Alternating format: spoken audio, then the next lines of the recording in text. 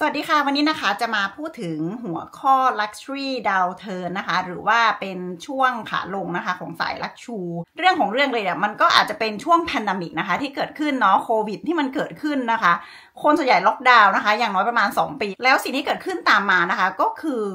อีโคโนมีนะคะ หรือว่าเศรษฐกิจทั่วโลกนะคะ เข้าสู่ภาวะถดถอยนะคะ ก็คือมันเป็นขาลงของอีโคโนมีทั่วโลกเลยนะคะ ไม่ใช่เฉพาะที่ใดที่หนึ่ง คือโควิดเนี่ยเปลี่ยนโลกจริงๆนะคะ แล้วในช่วงโควิดนะ มันทำให้เกิดพฤติกรรมหลายอย่างของคนที่มันเปลี่ยนแปลงไปด้วยนะคะตอนปลายช่วงโควิดเนี่ยนะคะ เราอาจจะเห็นส่วนที่ว่าคนซื้อของมากขึ้นนะในส่วนของ luxury world ตอนนั้นนะ คนเขาพูดเลยนะว่า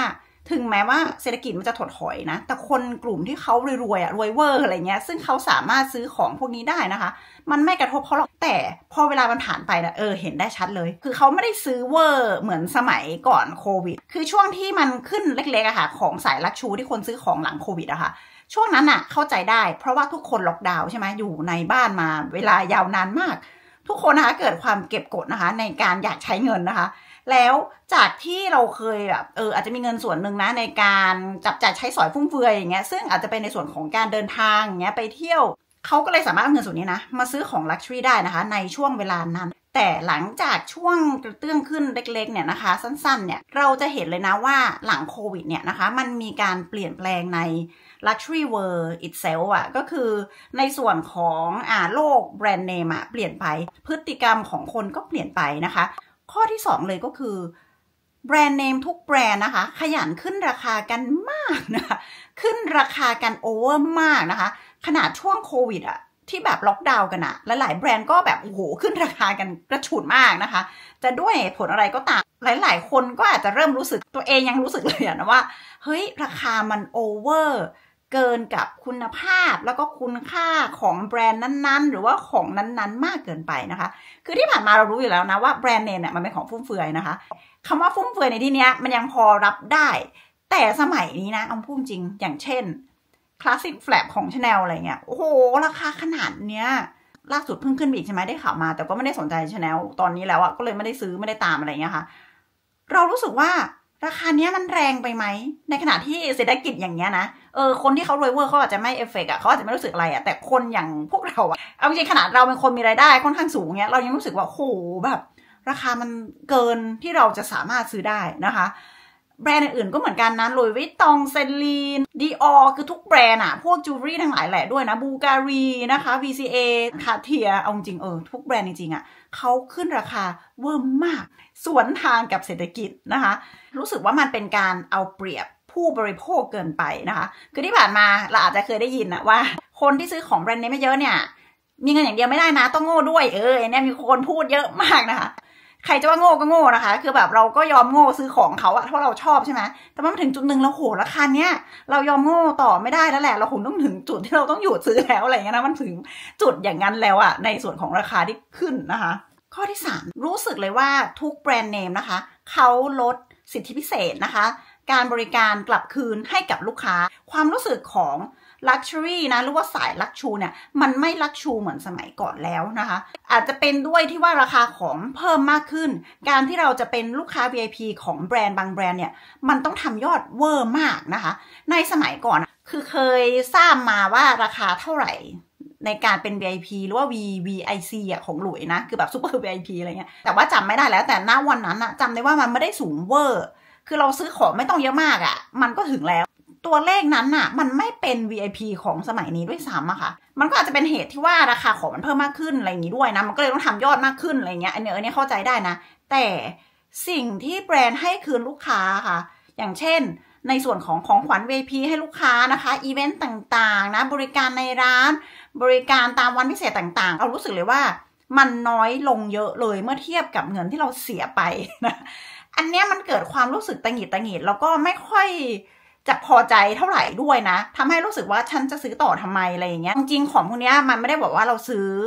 เยอะๆ เพื่อแบบเอ้ยอยากชอบอย่างเดียวอะเราก็อยากได้สิทธิพิเศษใช่ไหมไม่งั้นเราจะซื้อเยอะทำไมถูกปะอันนี้มันทุกวงการนะคำเนี้ยนะเราสเปนเยอะแค่ไหนอะเราก็ควรได้รับกลับคืนมานะ มากกว่าคนที่เขาไม่สเปนไหมอะหรือมาสเปนน้อยๆไหมอะเอาให้เห็นภาพนะคะโนดราม่านะถ้าเราสเปนจ่ายเงินไปเนี่ยหลักล้านอะกับคนที่เขาจ่ายเงินหลักพันนะคะ แต่เราได้สิทธิพิเศษอะพอๆคนหลักพันอะเราจะอยากเสียเงินหลักล้านไหมจริงไหมอันนี้มันเป็นแฟกต์มันเป็นความจริงนะสำหรับทุกวงการนะคะ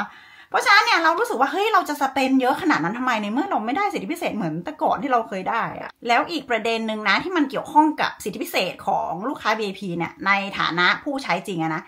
ซึ่งในส่วนนี้เห็นมาตั้งแต่ก่อนโควิดแล้วแหละ ซึ่งอาจจะเป็นเหตุผลหนึ่งนะที่ทำให้เราอะไม่อยากจะซื้อของบางรุ่น เพราะว่าสิ่งที่แบรนด์ทำอะ มันทำให้เราไม่ค่อยชอบเท่าไหร่เราก็เลยไม่อยากซื้อรุ่นนั้นๆนะคะสิ่งที่เกิดขึ้นก็คือแบรนด์ต่างๆนะคะ ก็เริ่มใช้อินฟลูเอนเซอร์นะคะดารานักแสดงนะคะ นักร้อง ศิลปิน ไอดอล เซเลบริตี้ในชีวิตจริง มาในส่วนของ marketing มากขึ้น ซึ่งในส่วนนี้เราเข้าใจได้นะ คือจากโซเชียลมีเดียที่มันเคยเป็นแพลตฟอร์มแบบ community แชร์นู่นแชร์นี่กันอะไรเงี้ยค่ะ มันกลายเป็นตลาด marketing ขนาดใหญ่ขึ้น อันนี้เข้าใจในส่วนของแบรนด์ว่าเขาก็ต้องใช้คนที่มี exposure เยอะๆ มี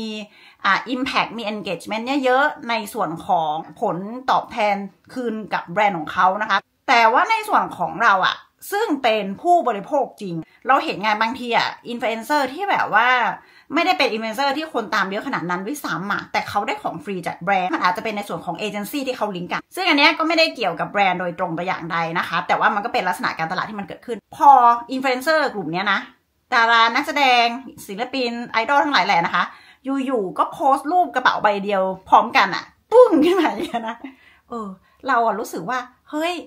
เขาได้ฟรีกันหมดเลยอะฉันอะซึ่งเป็น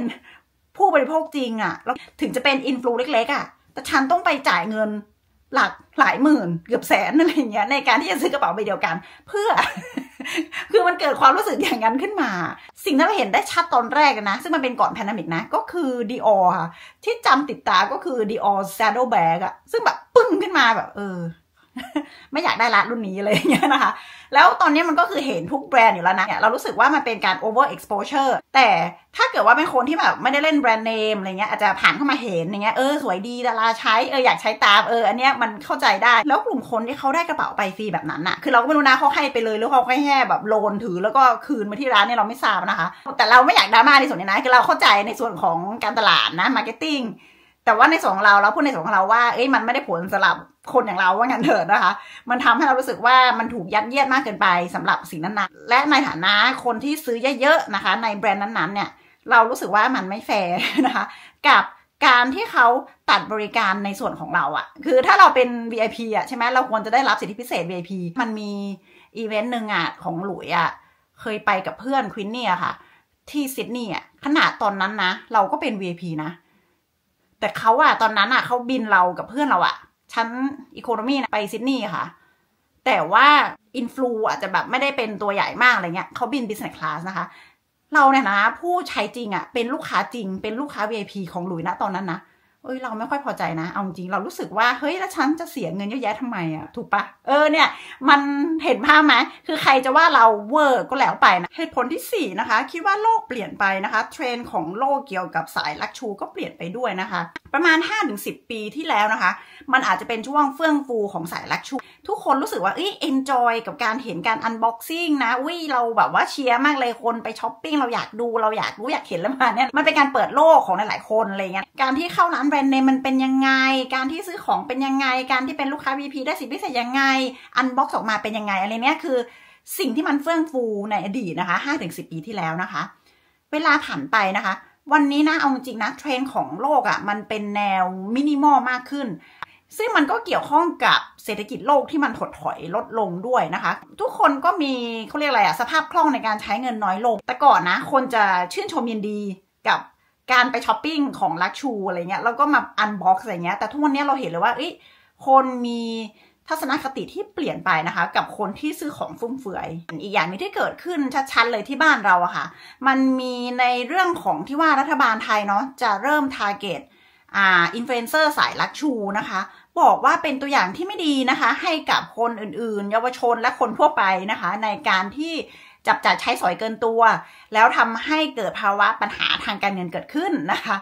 ซึ่งอันนี้เราต้องบอกว่าไม่เห็นด้วยรัฐบาลนะคะ แก้ไขไม่ถูกจุดนะคะ สิ่งที่รัฐบาลควรทำนะคะ ก็คือไปเพิ่มการศึกษานะคะ ในเรื่องของการเงินให้ดีมากขึ้นให้กับเยาวชนแล้วก็คนไทยมากกว่านะคะ ตัวเองอะ่ะ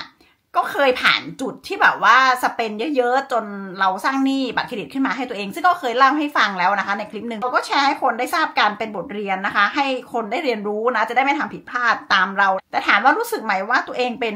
ตัวอย่างที่ไม่ดีนะคะ ให้คนอื่น อันนี้บางทีก็รู้สึกนะ